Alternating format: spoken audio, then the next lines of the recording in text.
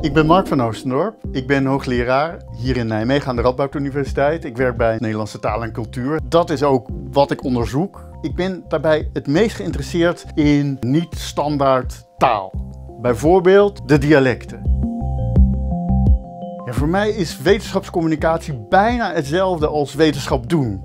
Dat heeft denk ik een beetje te maken met mijn onderwerp. Taal en dan vooral alledaagse taal. En voor de studie daarvan heb je mensen nodig en moet je met mensen praten. En dan moet je ze ook eigenlijk wel uitleggen wat je aan het doen bent en waarom je dat aan het doen bent. En ik heb het daarom helemaal geïntegreerd in mijn dagelijks werk.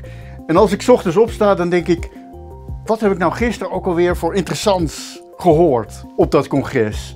Waar ben ik zelf eigenlijk mee bezig? Er draait kennelijk achter mijn hoofd altijd een soort radertje die dat in de gaten houdt, zodat ik als ik opsta meteen weet waar ik die dag over wil schrijven.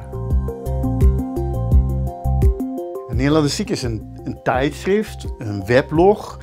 Dagelijks verschijnt het.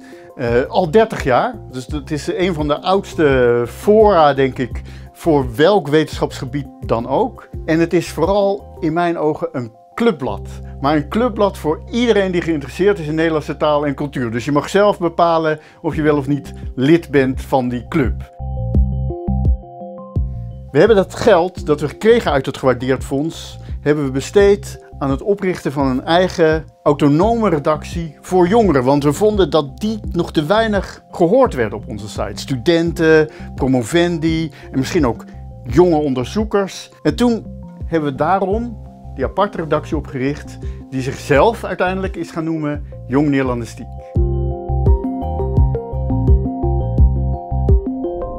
Ik ben Nienke de Haan, ik ben student aan de onderzoeksmaster Nederlandse Literatuur en Cultuur in Utrecht en ik ben hoofdredacteur van Jong Nederlandistiek.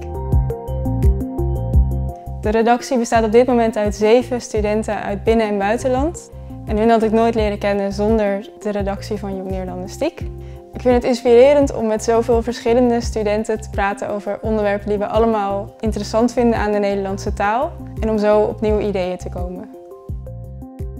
Taal is iets wat de hele dag om ons heen is. Dat waar we altijd mee bezig zijn. Wat iedereen de hele dag gebruikt. En dat geldt ook voor literatuur, bijvoorbeeld voor verhalen. De verhalen maken een belangrijk deel van ons leven.